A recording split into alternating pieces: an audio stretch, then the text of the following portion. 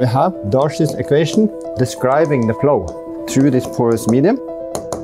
This equation is important because it's describing why we have this problem, why we're producing more water than oil.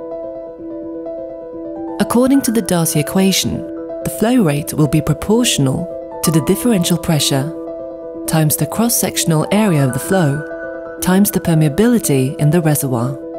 These three factors are then divided by the viscosity of the fluid and the length along where the differential pressure occurs, or the length of the flow path. This means that everything above the line is proportional to the flow rate, while everything below the line is inversely proportional to the flow rate. Looking at the equation like this, the simple mathematical statement it makes is intuitive and easily grasped. An increase in differential pressure will naturally lead to an increased flow rate, as fluids flow from areas of higher pressure to areas of lower pressure. And the larger the pressure difference is between two points, the larger the flow rate will be. An increase in the cross-sectional area of the flow path will also lead to an increased flow rate. And lastly, the higher the reservoir permeability, the higher the flow rate will be, as the rock system will be more susceptible to fluids flowing through it.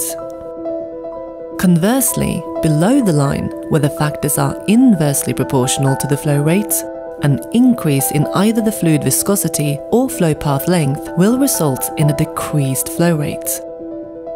This is simply because high viscosity fluids don't flow as easily as thinner, low viscosity fluids. And because if a fluid's path of flow lengthens, then the fluid flow is met with increased resistance.